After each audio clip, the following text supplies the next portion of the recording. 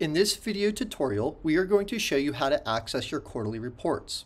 First, log in, and then from the reporting menu, simply click Quarterly Reports on Demand. You will see a list of all of your quarterly reports. You will simply click the download file to view your quarterly reports.